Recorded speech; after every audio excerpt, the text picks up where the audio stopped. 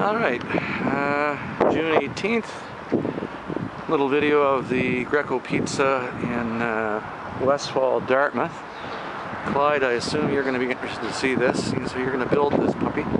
It's a very similar, kind of similar place to Torbay, where you guys are locating in Torbay Road. A lot of the same neighbors around. It's a kind of a little strip center. Torbay might be a little bigger than this, I guess. But uh, I was showing that, showing uh, Debbie and Chris that uh, Haystacks can make all this stuff for you customized. Like this is a die cut sticker here. And uh, anything like that for the Greco or for Pita World can be can be done. And uh, why we've got dark and brown tables here, I don't know. And we got Debbie and Chris having a little bite to eat. On here. And um, the slice display.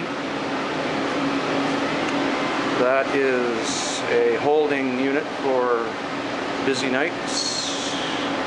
That's a counter you're probably going to have to build or get built.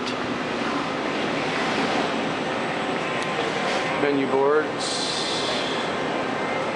And that's the new WOW oven that I think you'll probably be getting as well.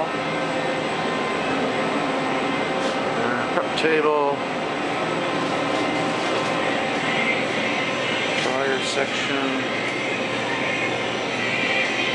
And uh, back entrance, walk-in cooler freezer. That's the cooler, that's the freezer. Dishwasher, stainless steel shelving. Storage area.